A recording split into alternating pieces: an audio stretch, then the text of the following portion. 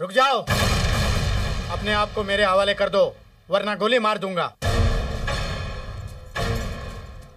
कम कम कम कम। मैं CBI officer Jadeja हूँ। ये केस मेरे अंडर है आप लोग अपने आप को मेरे हवाले कर दो। देखिए सर हम दोनों बिल्कुल बेकसूर हैं। मैं जानता हूँ मैं जानता हूँ मैं आप लोगों को मदद करने के लिए तैयार हूँ लेकिन पहले आप लोग अपने आप को मेरे हवाले कर दो। आओ आओ आओ। ये क्या कर रहा है तू? तुम मुझे नहीं मार सकते। एक आदमी को तो पहले ही मार चुका हूँ। लेकिन वो ज़िंदा था। वो तुम्हारे हाथों नहीं मरा। किस्मत अच्छी थी साले की जो मेरे हाथों नहीं मरा। मैं जानता हूँ तुमने उसके ऊपर गोली क्यों चलाई। क्योंकि मैं तुम्हारे और तुम्हारी माँ के बारे में सब कुछ जानता हूँ।